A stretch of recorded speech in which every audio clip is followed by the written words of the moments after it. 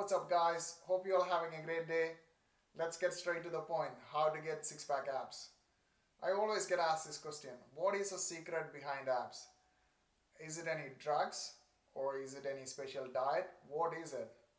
Everyone has abs, but not everyone can see abs because their body fat percentage is too high. What is a body fat percentage?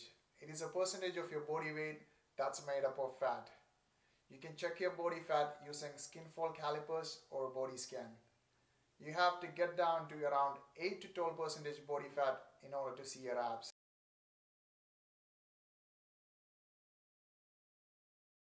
So how do you get to that low body fat?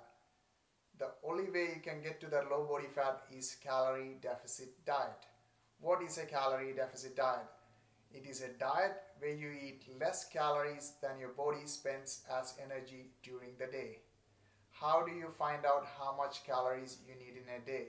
Everybody is different. Everyone's metabolism is different.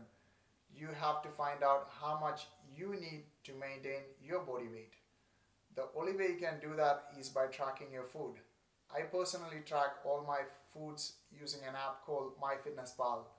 It's a free app. You can try that one too. Once you find out how much calories you need to maintain your body weight, you can reduce 200 to 300 calories from that one and start dieting on that number. So the next questions would be, what kind of foods I need to eat in order to lose body fat? There is no magic foods out there that will help you lose body fat. You can eat McDonald's every single day but still lose body fat if you're in a calorie deficit.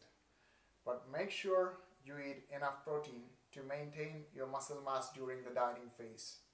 There is so much misinformation out there saying that you can't eat carbs, you can't eat any sugar, you can't eat any fatty food that will make you fat. That's not true. There is no evidence behind these statements. All you need to do is calorie deficit diet.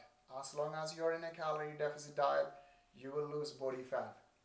I hope you all got something out of this video and if you have any training nutrition doubts put it in the comments and I'll answer them in the next video and I hope to see you all in the next video. Thank you.